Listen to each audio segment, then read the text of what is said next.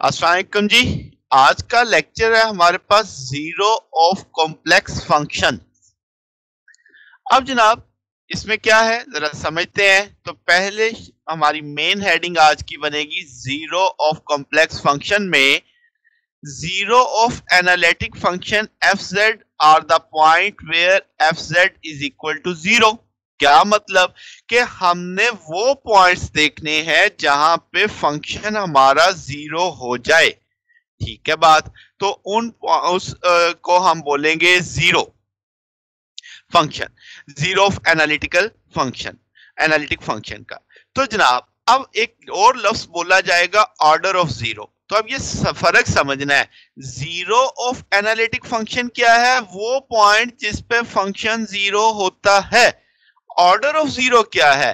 कि वो value of function जो फ़र्स्ट जिस डेरिवेटिव पे उसका जवाब ज़ीरो ना आए that is called order of zero क्या मतलब? क्या हम फ़ंक्शन का डेरिवेटिव लेंगे, उसमें उस पॉइंट को प्रेस करेंगे, अगर जवाब ज़ीरो आ गया चेक करते जाएँगे करते जाएँगे first order second order third order four order जिस ऑर्डर पे जाके जवाब ज़ीरो ना आया, वो उसका ऑर्डर ऑफ़ ज़ीरो कहलाएगा। एग्ज़ाम्पल देखेंगे तो और समझ आ जाएगा। तो अब आपको दो बातें समझनी है। ज़ीरो ऑफ़ एनालिटिक फ़ंक्शन क्या है? वो पॉइंट जिस पे फ़ंक्शन ज़ीरो हो जाए। ऑर्डर ऑफ़ ज़ीरो क्या है?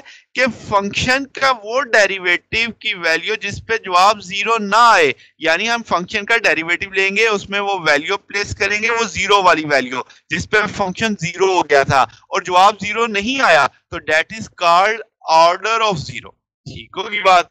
अगर आपके पास हम के ज़ीरो ऑफ़ ऑर्डर एन है, इसका मतलब फ़र्स्ट भी ऑर्डर भी डिफरेंशियल ज़ीरो है सेकंड ऑर्डर डिफरेंशियल भी ज़ीरो है थर्ड भी ज़ीरो है एन माइनस वन भी ज़ीरो है। लेकिन एफ़ एन यानी एंथ डिफरेंशियल उसका फ़ंक्शन का ज़ीरो नहीं है तो तब हम बोलेंगे ज़ीरो ऑफ़ ऑर्डर एन बात समझ आ गई? और इसी तरीके से ज़ीरो ऑफ़ ऑर्डर वन कब बोलेंगे? कि आप फ़र्स्ट डिफरेंशियल लेते हो और वो जवाब ज़ीरो नहीं आता। इसे हम सिंपल ज़ीरो का नाम भी दे देते हैं। तो आप इसे ज़ीरो ऑफ़ ऑर्डर वन भी बोलेंगे। तो जनाब, जैसे आप देखो एफ़ जेड है तो आपके पास ये सिंपल ज़ीरो है, क्योंकि आपके पास जेड ज़ीरो हो जाएगा। इसी तरीके से z minus one Z minus iota square है। तो आपके पास इसमें z की वैल्यू जो जवाब ज़ीरो आ सकता है, कब जब आप z की वैल्यू क्या रखोगे योटा तो आपको वो पॉइंट पता लग गया जिस पे फ़ंक्शन ज़ीरो होता है। तो अब आप इसका जब देखोगे ऑर्डर तो इसका ऑर्डर टू बनेगा। फ़र्स्ट ऑर्डर एक दफ़ा डिफरेंशियल लोगे तो जवाब टू जेड आ जाएगा। उसमें जेड की वैल्यू प्लेस करो, तब भी जवाब ज़ीरो आ जाएगा। इसी तरीके से आप इसे देखते जाएँगे। तो जेड स्केयर माइनस वन में आप इसे लिख सकते हैं z माइनस वन बराबर z प्लस वन तो इसके टू सिंपल ज़ीरो है z की वैल्यू प्लस माइनस वन रखेंगे एक में प्लस रखनी पड़ेगी एक में माइनस रखनी पड़ेगी तो ये चीज़ इसमें समझनी है।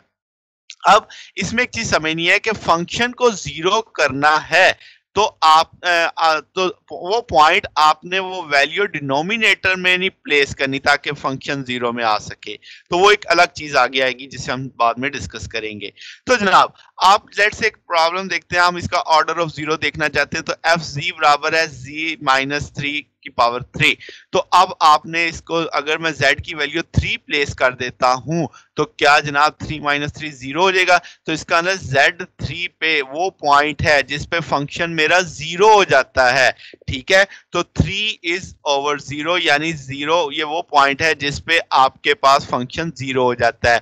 अब मैं इसका फ़र्स्ट ऑर्डर डिफरेंशियल लेता हूँ तो three power three Z minus three square आ जाएगा। इसमें वो थ्री वैल्यू प्लेस करता हूँ तो जवाब ज़ीरो आ रहा है। फिर सेकेंड ऑर्डर डिफरेंशियल ले रहा हूँ तो अब आपके पास सिक्स जेड माइनस थ्री आ जाएगा। फिर मैं थ्री की वैल्यू प्लेस कर रहा हूँ, फिर जवाब ज़ीरो आ रहा है। अब मैं थर्ड ऑर्डर डिफरेंशियल ले रहा हूँ तो जवाब सिक्स आ गया। अब मैं जब थ्री प्लेस करूँगा तो अब तो मेरे पास कोई वैल्यू लगाने की जगह ही नहीं है। तो इसका जवाब तो सिक्स होगा। तो आपके पास ये जवाब ज़ीरो नहीं है। तो इसका मतलब मेरे पास ऑर्डर ऑफ़ ज़ीरो कितना आ गया? थ्री तो मेरे पास वो पॉइंट जी भी थ्री था और इसका ऑर्डर भी कितना है? थ्री है। तो समझ, ये सवाल आपको बहुत अच्छे से समझा देगा कि आपको फ़ंक्शन का पॉइंट का पता लगा जिस पे फ़ंक्शन ज़ीरो होता है और उसका ऑर्डर समझ आया, जिस पे उसका डेरिवेटिव पे आपके पास जवाब ज़ीरो नहीं है तो वो चीज़ ऑर्डर ऑफ़ ज़ीरो कहलाएगा। एक और एग्जांपल देखते हैं। एफ़ सेट बराबर है cos Z pi by two है। अब आपने वो पॉइंट निकालना है जिसपे फ़ंक्शन ज़ीरो हो जाए। इसका मतलब cos Z pi by two zero हो जाए तो हम जानते हैं cos two N plus one और पाई बाई टू एन की वैल्यू ज़ीरो रखोगे pi by two cos ninety पे ज़ीरो होता है कॉस आपके पास इसी तरीके से आप थ्री पाई बाई टू पे ज़ीरो हो जाएगा। तो आप, इसका मतलब ये हुआ कि अब आपने जेड पाई बाई टू को बराबर समझना है किसके two N plus one pi by two pi by pi cut जाएगा तो जी बराबर आ जाएगा किसके टू एन प्लस वन के। एन की value one three five seven रखेंगे जिसपे फ़ंक्शन ज़ीरो हो सकता है। यानी वन रखेंगे तो पाई बाई टू आ जाएगा। जैसे यहाँ पे जी की वैल्यू वन रखो तो pi by two function zero हो जाएगा। जी की वैल्यू थ्री रखो three pi by two function zero हो जाएगा। तो आपने वो पॉइंट ढूंढ लिए जिसपे फ़ंक्शन ज़ीरो हो सकता है। इसका ना एक से ज़्यादा पॉइंट भी हो सकते हैं जिसपे फ़ंक्शन ज़ीरो हो सकता है। फिर आपने क्या किया जनाब फ़र्स्ट ऑर्डर डिफरेंशियल लिया इसका तो वो आ जाएगा minus pi by two sine Z pi by two अब आपने उसकी वैल्यू जी की कितनी, कोई एक रख दे थ्री रख दी मैंने तो लेट से वो आ गया, आपके पास जी की जगह थ्री पाई बाई टू आ गया तो sine three pi by two अब आपके पास कितना आ जाएगा जनाब?